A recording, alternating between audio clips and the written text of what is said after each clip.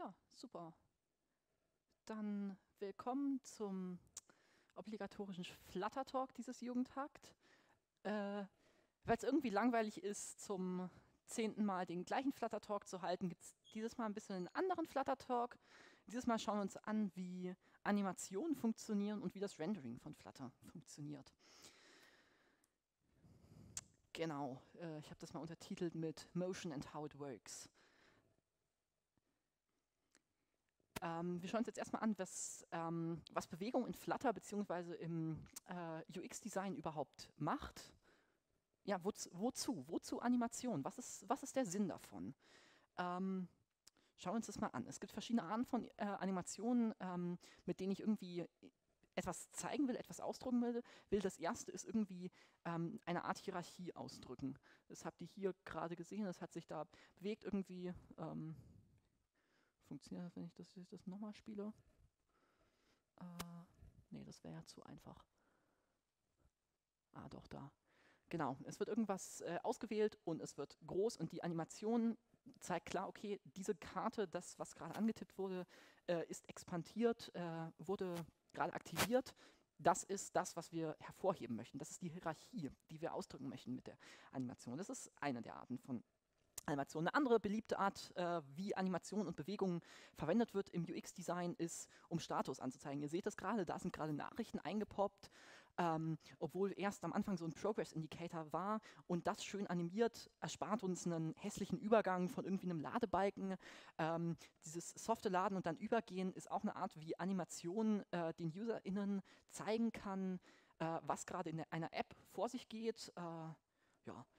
Äh, das, die dritte Art ist äh, Feedback, das heißt, hier seht ihr es, da wird irgendwas bewegt und dadurch, dass die anderen Karten sich äh, umorientieren, wissen wir, okay, die Aktion, die wir gerade tun, ist erfolgreich. Das ist eine Rückmeldung an die UserInnen, dass was auch immer passiert, funktioniert.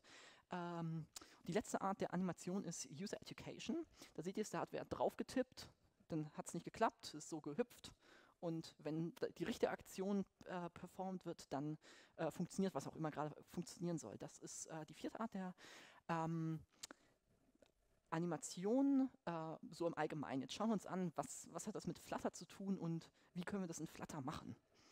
Äh, Spoiler, Flutter ist genial für Animation. ja, wie schaut das aus? Okay, ähm, ein Broken Link. ähm, super, ich weiß auch eigentlich nicht, was da dargestellt sein sollte. Ähm, Momentchen mal. Oh nee, das kann jetzt echt nicht sein. Ähm, okay, ähm, Netzwerk will nicht, wie ich will. Ja, schauen wir uns einfach mal an, was die äh, Typen von äh, Animationen in Flutter sind. Ähm, da gibt es verschiedene Arten. Die erste ist ähm, die Implicit ähm, Animation. Die sind ähm, ja, relativ einfach zu implementieren, ähm, sind effizient ähm, und bestehen eben aus einem aus einer kontrollierenden, aus einem Controller, äh, der eine Animation annimmt äh, und geben jeweils eine äh, aktu einen aktuellen Wert der Animation. Also irgendwie, wir geben beim Erstellen der Animation aus, wir möchten von irgendwie einen Integer durchanimieren, eine Farbe durchanimieren, was auch immer für ein Datentyp äh, der lerpable ist, möchten wir durchanimieren. Ähm, und da geben wir ganz einfach ein ja, Anfangs- und Endwerk, irgendwelche Constraints, äh, eine Dauer, die eine Animation haben soll, sowie die Art, wie die Animation abgehen soll. Das nennt sich Curve. Das, da zeige ich gleich noch ein paar Beispiele, was das sein könnte. Ähm, genau, auf so einen Controller kann dann irgendwie ein Listener gesetzt werden, okay, immer wenn sich die Animation geändert hat, äh, soll irgendwie etwas sich ändern und da kann, lassen sich relativ einfache Animationen mit basteln, wie zum Beispiel, dass ich, wenn ich die App öffne, ist der Bildschirm grün, wenn ich auf den Knopf tippe, ähm, startet diese Animation und dadurch, dass ich sage, dem in der und der Form, in der und der Geschwindigkeit, soll es sich ändern auf das und das Endergebnis. Jetzt habe ich von diesen Kurven gesprochen, das sind Beispiele für äh, Kurven. Da gibt es allen möglichen äh, vordefinierten Spaß, das sind jetzt die eingebauten Kurven in Flutter. Das sind von einfachen beschleunigenden Aktionen wie die äh, Ease-In-Sign-Curve da hinten bis äh, zu irgendwelchen total komplexen ähm, Animationskurven wie der Ease-In-Out-Bounce-Kurve da ganz unten. Ähm, natürlich seid ihr nicht, wenn ihr irgendwie die Bewegung definiert, darauf angewiesen, sondern ihr könnt natürlich jede mathematische Funktion der Welt äh, verwenden, die ihr da reingeben wollt. Also ihr könnt äh, von mir aus auch eine Kreisfunktion da reinbasteln, dass es sich wieder zurück äh, bewegt. Um, everything is possible. Upp, falsche Richtung. Genau, wie schaut das Ganze aus in Flutter? Ihr seht hier ein kleines äh, Listing. Ähm, das, was da häufig verwendet wird für Implicit äh, Animations, sind sogenannte Am Animation Controller. Ähm, äh, Container. Ähm, das ist quasi einfach ein Container, ähm, das Äquivalent in äh, dem weit, verbreiteten HTML wäre einfach so ein Div-Block und es ist relativ einfach. Alles, was sich an diesem Container ändert, ist animiert. Das macht viele Dinge total einfach. Ähm, Ihr seht jetzt hier, dass da sind ganz viele if-Statements, also äh, Inline-Ifs mit dem Selected, falls dieser äh, booleische Wert true ist, ist irgendwie die Breite 200, wenn nicht 100. Das heißt, da ist, ändert was die Größe, je nachdem, ob dieser Wert a oder b ist. Ähm, und das sind eben diese Eigenschaften, die sich ändern. Und dann seht ihr unten, beziehungsweise fast unten, die Duration, von, die ich gerade beschrieben habe, so, so, lange dauert die Animation und ähm, die Kurve, die das ist, das äh, ist jetzt schon eine etwas kreativere äh, Kurve, das ist so, so ein schönes, beschleunigendes. Ähm, genau.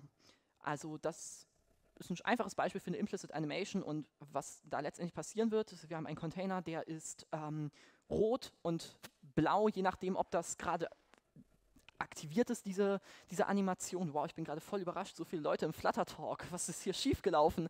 Ähm, und ändert eben die Größe. So, ähm, eine andere Art der Implicit Animations sind äh, Tween äh, Animation Bilder. Die sind relativ einfach zu implementieren. Ich weiß nicht, wie weit ihr euch mit Flutter auskennt. Flutter basiert sehr viel darauf, dass sogenannte Bilder, Widget-Bilder verwendet werden. Das heißt, ähm, es wird nicht statisch geschrieben, die und die, der und der Inhalt ist hier gerade vorhanden, sondern es, sind es werden Funktionen übergeben, die Inhalt bauen. Das seht ihr jetzt, das ist alles, was hinter dem Return-Statement äh, dort ist. Also da seht ihr einen Bilder, der kriegt einen Kontext, auf dem gebaut wird und ähm, dann die Werte, die ich da habe. Ähm, der Tween Animation Bilder geht einfach durch ein Tween. Tween ist das Flutter-Äquivalent von, von einem Animationsbereich, würde ich es jetzt einfach mal übersetzen. Ähm, da seht ihr in diesem Falle, beginnt das bei 0 und endet bei 2pi. Ähm, dauert zwei Sekunden, eine Kurve ist nicht angegeben, das heißt, das ist einfach eine lineare Animation. Wer sich etwas mit Mathematik äh, auskennt, äh, wird sehen, da wird sich etwas drehen. Ähm, genau, das andere Art der total einfachen Implicit Animation, das ist total low effort, lässt sich total einfach umsetzen, es braucht kein komplexeres Wissen über Animation der Bewegung mit so einem Tween-Builder oder einem Animated Container. Können eigentlich alle Leute relativ einfach eine Animation umsetzen in Flutter. Aber manchmal darf es ja auch komplizierter sein. Warum einfach, wenn es auch kompliziert geht? Ähm, schauen wir uns mal die Explicit Animation an. Ähm, die basiert anders als äh, die Implicit Animation, die schon so High-Level-Werte wie äh, eine Kurve und eine Dauer nimmt, äh, basiert die Explicit Animation auf einem Tick-Up-Provider, was das ist, werde ich gleich erklären, ähm, und baut letztendlich einfach für jedes Frame, was gerendert wird in der App, das Widget neu. Ähm, das, damit lassen sich etwas komplexere Sachen realisieren als äh, mit einer einzelnen Implicit Animation. Also mit einer einzelnen Explicit Animation lassen sich letztendlich mehrere Implicit Animations erstellen und das wiederum kann unter Umständen effizienter sein, als quasi mehrere ineinander verschachtelte implizite Animationen zu haben, weil die implizit, werde ich gleich, wenn ich aufs Rendering zurückkomme, äh, werdet ihr sehen, äh, das verträgt sich nicht so ganz. Ähm, so, Rezept es braucht ein Single Ticker Provider State Mix-In. Dieser Name, äh, er könnte fast deutsch sein. So lang ist das. Ähm, des Weiteren wird ein Animation Controller besetzt und äh, gesetzt, benötigt, wie auch immer, äh, und auf den muss quasi gehört werden, gelistet. Auf den, der wird einmal erstellt beim Initialisieren eines äh, Stateful Widgets äh, und dann eben bei jedem Mal, dass der tickt, dieses Ticken, das macht dieses Single Ticker Provider State Mix in, das sagt dem quasi jedes Mal, wenn, mein, wenn meine Anwendung ein neues Frame rendert, je nachdem wie schnell das Device das Display aktualisiert, wird die tickt der und da wird ein neues ähm, Set State von dem Listener rausgegeben. Beziehungsweise das müsst ihr selbst machen, das ist eine Low-Level-Implementierung, da muss sowas per Hand gemacht werden. Ähm, wie schaut das aus? Wir haben ganz einfach ein Stateful Widget, beziehungsweise hier, damit es irgendwie auf den Screen passt, ist jetzt einfach nur äh, der State und wie die geschulte LeserInnen bestimmt äh, oder ZuhörerInnen bestimmt sehen, ist das noch äh, Dart 2.6, nicht Dart äh, 2.12, aber das wisst ihr bestimmt alle.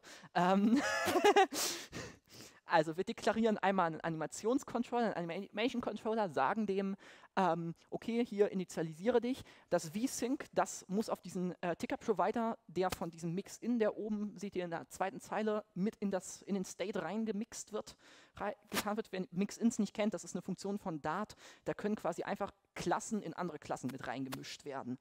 Ähm, danach wird eben gesagt, okay, was passiert jetzt, wenn dieser Animation Controller angeregt wird, wenn der tickt. Das ist das Add Listener, das wird auf Update gesetzt. Die Funktion Update macht nichts als außer dem State animi äh, ändern. Und jetzt, gut, das ist jetzt etwas unkreativ, es passiert nichts bei der Animation, weil einfach nur ein Controller zurückgegeben werden könnte. Aber da könnten wir jetzt zum Beispiel äh, die, den aktuellen Wert der Animation auslesen oder so und damit relativ komplexe, äh, auch mathematischere ähm, Vorgänge beschreiben mit so einer äh, Animation. Ähm, hier ist jetzt eine etwas detailliertere, da seht ihr jetzt zum Beispiel, da ist jetzt äh, in dem Controller noch eine Dauer reingegeben, der kann natürlich auch da wieder eine Kurve bekommen. Äh, es lässt sich auch ohne Kurve realisieren, je nachdem wie ihr das mögt. Wenn ihr zum Beispiel komplexere äh, mathematische Funktionen darauf geben wollt, ist es manchmal einfacher, das einfach im äh, Bild zu machen. Hm? Okay, ja.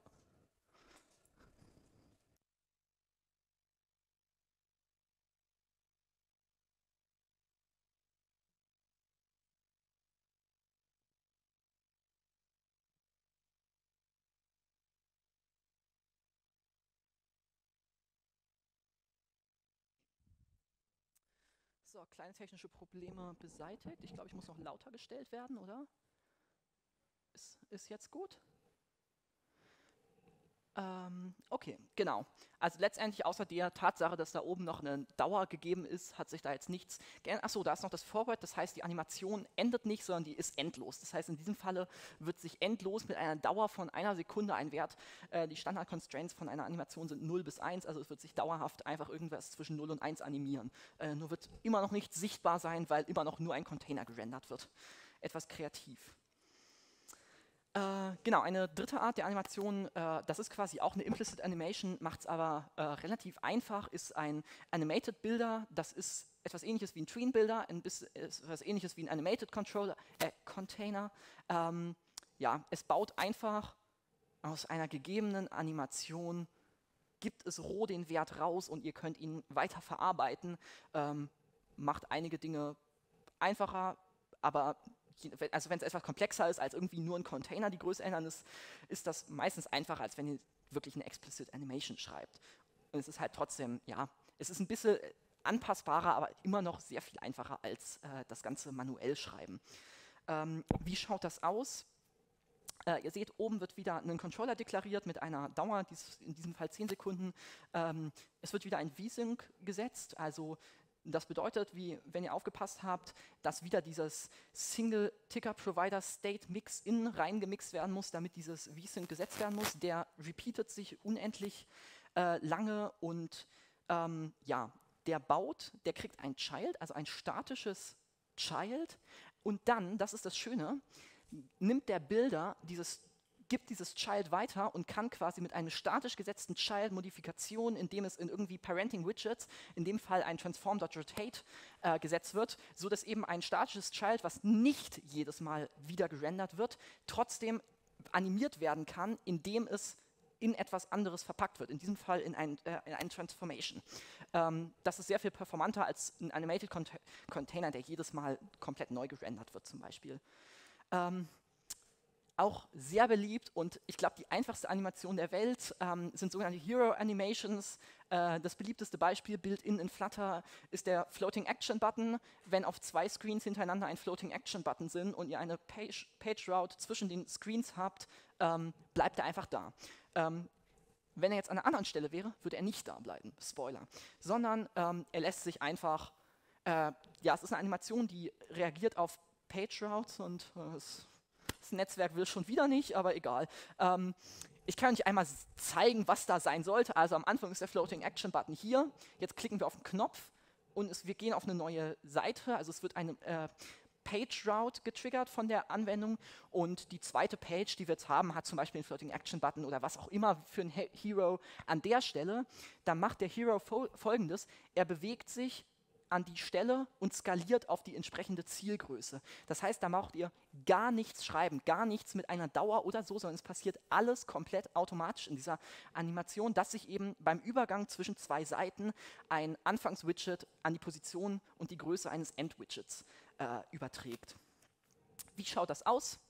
Stellt euch vor, dies seien zwei Seiten. Äh, da ist ein Hero, da ist noch ein Hero. Heroes nehmen immer Tags, das kann irgendein Objekt sein, Hauptsache ist das gleiche. Und wenn wir jetzt von der Seite auf die Seite äh, mit einer Page Route gehen, äh, werden wir sehen, dass sich dieser, äh, ja, dieses, dieser Hero in den Ziel-Hero hinein bewegt und übergeht. Äh, ja, sehr einfach. Wem das jetzt alles zu einfach war und wer es ein bisschen komplexer haben will, oder vielleicht auch gar nicht komplexer, sondern einfach nur schöner und schicker, kann das Animations Package verwenden. Das Animations Package ist ein offizielles äh, Paket von Google in der, ähm, im DartPub und ja, es deckt viele Arten von Animationen ab, äh, ist ein bisschen komplexer und ein bisschen umfangreicher als nur die äh, ja, Basisanimation. Es ist halt vordefiniert für ein paar mehr Cases. Und zwar für folgende pa Cases für Container-Transformationen. Äh, ihr seht, irgendetwas transformiert sich, öffnet sich, wird größer, bewegt sich dabei und geht in eine neue Seite über. Ähm, das ist sehr häufig irgendwie, wenn ihr eine E-Mail schreibt oder so, ein Floating Action Button, der groß wird oder so.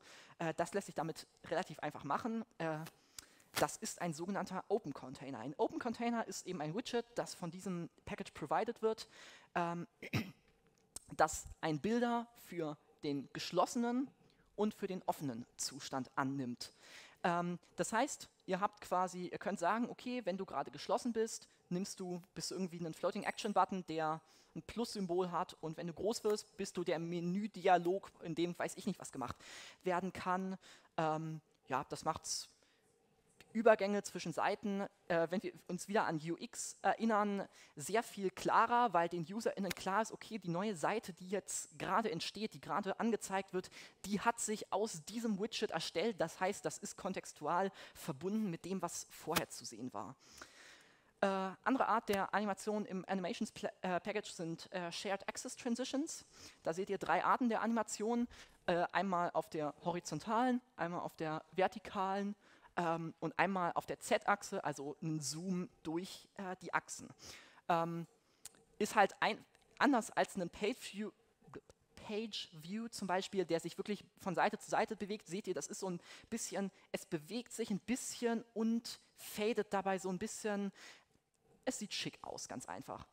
Ähm, ja, da gibt es zwei Arten von. Da gibt es einmal die Shared Access Page Transition. Äh, da ist es ein Übergang zwischen zwei Seiten, also zwisch zwischen zwei, ähm, zwei Routen, wenn ihr so wollt, in der App. Und das andere ist ähm, einfach die Shared Access Transition. Das ist einfach ein Widget, was ihr irgendwo raufhauen kann, könnt, was einfach bei verschiedenen Childs, sobald das Child sich ändert, wird das umge umgerendert ähm, und diese Animation eben ausgeführt. Genau, äh, kleine andere äh, Build-in-Animation äh, von Flutter noch wäre das Animated Icon für relativ häufige Sachen wie, ähm, keine Ahnung, ein Play-Button, der sich in einen Pause-Button äh, verändert. Das ist ein, eine wahnsinnig häufige Animation, hat Flutter eingebaute Animationen. Äh, ja, hier seht ihr ein paar Beispiele. Es sind nicht allzu viele, aber äh, es kann viel Arbeit erstellen. Also ich würde zum Beispiel diese Animation nicht in nativen Flutter-Widgets schreiben wollen. Das macht bestimmt keinen Spaß. Es schaut dann etwa wie so aus. Ähm, das kriegt einen äh, Progress, das ist eine Variable, also das ist ein, ein, Wert zwischen dem Anfangs- und dem Endwert. Äh, und je nachdem, ob der jetzt gerade 0, 1 oder irgendwas dazwischen ist, äh, könnt ihr eben sagen, okay, das ist jetzt gerade auf dem und dem Prozentsatz der Animation.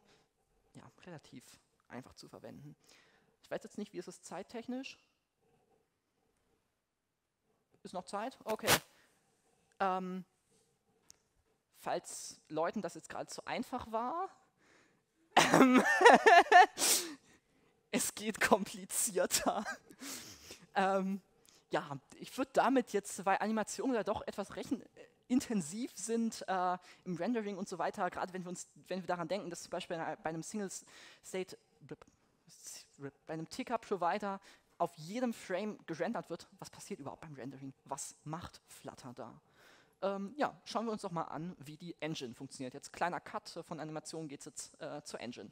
Äh, hier eine kleine Übersicht, wie Flutter aufgebaut wird. Es gibt einmal das Framework, das ist in Dart, die Programmiersprache, die zu Flutter gehört, die für Flutter entwickelt wurde, beziehungsweise eigentlich mal als äh, Ersatz für JavaScript, weil irgendwelchen Leuten JavaScript nicht gefällt, äh, hat sich nicht durchgesetzt und dann dachten sich Leute, okay, lass mal Flutter draus bauen.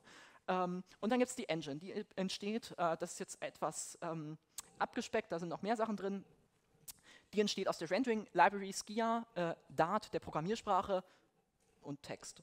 Also dem, was letztendlich das Betriebssystem an Texten kennt. Ähm, das Framework besteht äh, von oben nach unten betrachtet hierarchisch. Oben sind quasi die, die high-leveligsten Sachen. Das sind so diese schicken Widgets, die ihr kennt, irgendwelche, ähm, irgendwelche Knöpfe mit äh, Schatten rund, äh, blinkend, weiß ich nicht was oder irgendwelche Apple-Style-Sachen.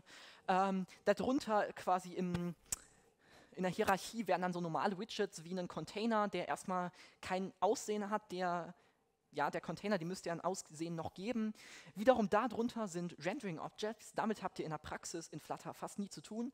Ähm, wer mal mit Canvases äh, und Custom Paints in Flutter gearbeitet hat, wird indirekt mit Rendering Objects, ob Rendering Objects Objects gearbeitet haben. Rendering Objects sagt ja anders als Widgets ähm, nicht direkt, okay, das ist, das ist ein Widget, sondern Rendering Object sagt dir, so und so wird gerendert. Das heißt, die haben anders als Widgets, achten die nicht auf Constraints, äh, auf, Over, auf Pixel Overflow, sondern es wird einfach gerendert, was da steht, Punkt. Ähm, darunter, damit es gerendert werden kann, äh, haben wir natürlich irgendwie eine Library, die painten kann, die Dinge auf dem Screen anzeigen äh, kann.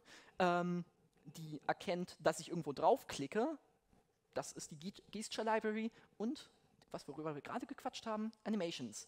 Ähm, Animations sind letztendlich Teil vom Painting, äh, ist aber dezidiert aufgeführt, weil die Animations eben ähm, relativ rechenintensiv sind. Äh, ja, keine Ahnung. Darunter liegt die Foundation. Die Flutter Foundation ist das, was letztendlich die Schnittstelle zur Engine bietet. Das ist die Schnittstelle zu dem, was in JavaScript, in C++, in Swift, in Java, was auch immer für eine Programmiersprache, auf dem Device, auf dem ihr gerade arbeitet, passiert. Ähm, Beispiel, ähm, was ich gerade gefixt habe in der äh, Flutter Foundation, ist äh, die Kommunikation zwischen JavaScript im Browser und äh, dem, dem, was ich in Flutter schreibe. Ähm, wenn jetzt Flutter, schauen wir uns die Accessibility Library an, wenn da jetzt irgendwie ein Accessibility Attribute in Flutters Accessibility Eigenschaften gesetzt wird, da muss ja JavaScript oder C++ oder der Android Accessibility Service oder iOS muss ja wissen, okay, das hier ist jetzt ein Accessibility Attribute. Und das, das macht die Foundation, die kommuniziert quasi zwischen Flutter und dem Betriebssystem, dem Device, äh, dem Host, wenn ihr so wollt, selbst.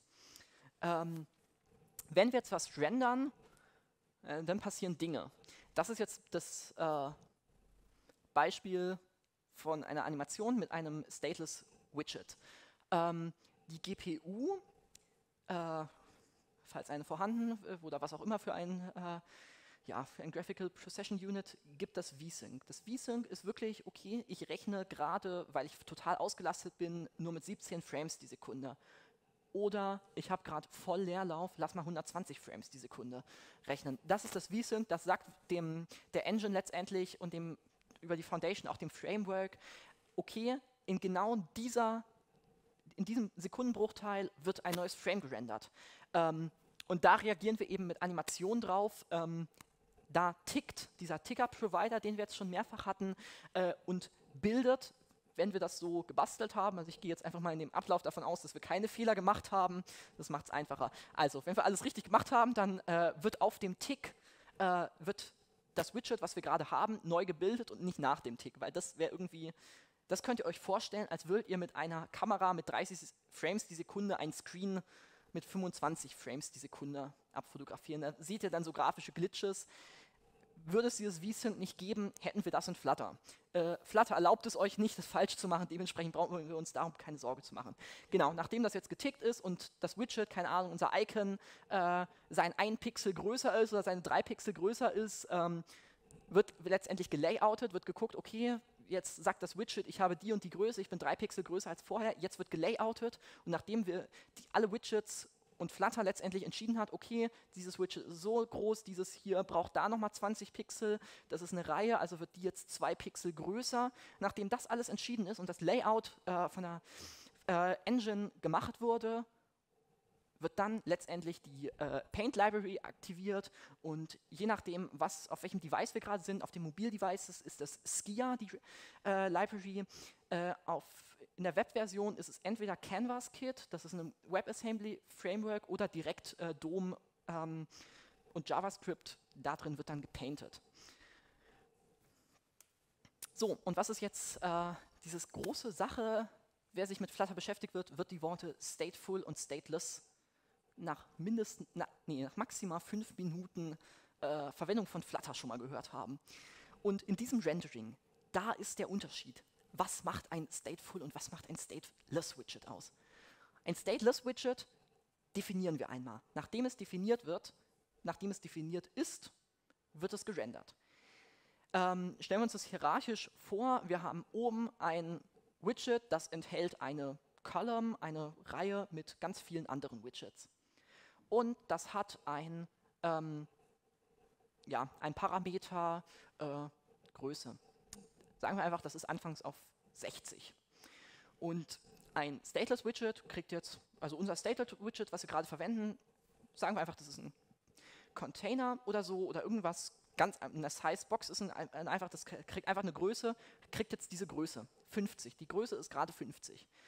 Äh, das wird jetzt einfach einmal gerendert und sobald das Widget, was diese ganz vielen Dingenze und diese Reihe enthält, ähm, sobald sich in dem die Größe ändert und ein Set State aufgerufen wird, werden sich alle darunter liegenden Stateless Widgets ändern, weil alle diese Größe haben und die sich geändert hat. Das heißt, ein Stateless Widget wird neu gerendert, sobald sich irgendetwas an dem Constructor davon ändert. Das heißt, es hat keinen Zustand. Es ist einfach das, was, es, was ihm gerade gegeben wird, rendert ist. Ein Stateful Widget funktioniert da anders. Ein Stateful-Widget kriegt einmal Ausgangsparameter und kann, wenn es sich ändert, selbst entscheiden, hm, rendere ich jetzt neu? Nee, das ist eine unwichtige Änderung, da brauche ich mich nicht äh, neu rendern. Beispiel zum Beispiel, ein Widget kriegt ein Callback, also eine Funktion, mit der es das Parenting-Widget eine Benachrichtigung senden kann, wie auch immer es ausgedrückt wird. Ähm, so, wenn sich das ändert, ist das für unser Rendering scheißegal. Da brauchen wir das im Zweifel nicht neu rendern. Und das kann ein Stateful-Widget selbst entscheiden. Es geht sogar noch weiter. Ein Stateful-Widget kann natürlich auch selbst entscheiden, okay, gerade hat sich etwas im UI geändert. Äh, ich habe einen Timer gestellt auf fünf Minuten. Nach fünf Minuten muss ich meine Größe ändern.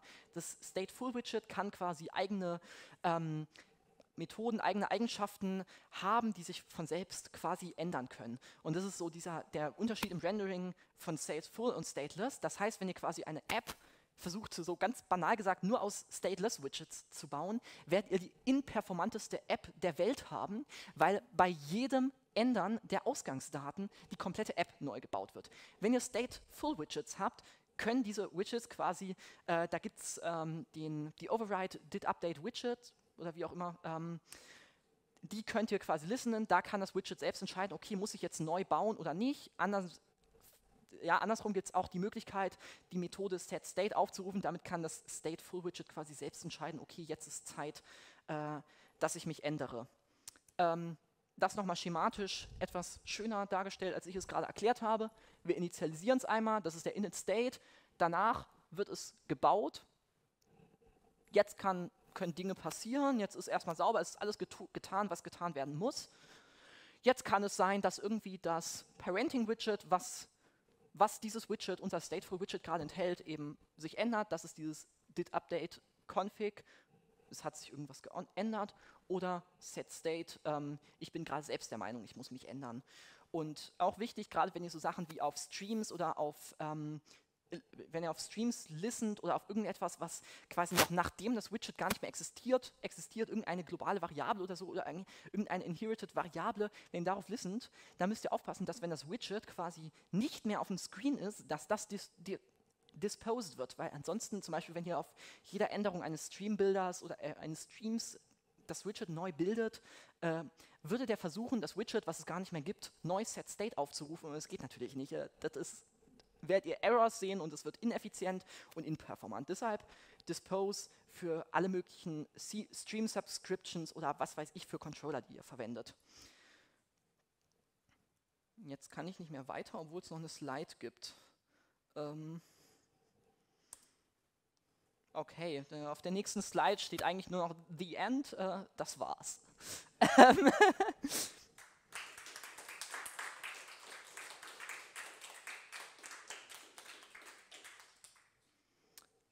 Gibt es noch Fragen zu Animation, User Experience oder Rendering in Flutter?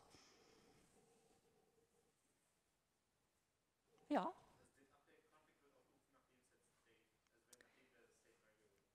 Äh, nee, Did Update, äh, es gibt verschiedene Did Update ähm, Overrides, die werden aufgerufen, wenn, so wir haben unser Hauptwidget und das enthält fünf andere Widgets und die haben einen Parameter und wenn der Parameter vom Constructor vom Widget sich geändert hat, also zum Beispiel das, um bei dem Beispiel mit der Breite zu bleiben, unser Stateful-Widget kriegt eine Breite und das Parenting-Widget entscheidet, okay, die Breite ist jetzt 5 Pixel weniger, kann ein Stateful-Widget selbst entscheiden mit diesem Did-Update, Overrides, ob es jetzt den State neu setten soll oder nicht, ob es die neue Breite ignorieren soll oder ob es quasi irgendwas davon ändern muss. Dafür sind diese Dinger und deshalb geht der Pfeil auch wieder nach oben, weil dann, wenn das entsprechend, wenn es sich entsprechend entscheidet, sich neu zu bauen, wird eben das Widget neu gebaut, dann äh, haben wir wieder das neue Layout, nachdem klar ist, wie das Layout ist, wird es gepainted und so weiter. Ja, sonst noch Fragen? Ja, dann danke für eure Zeit.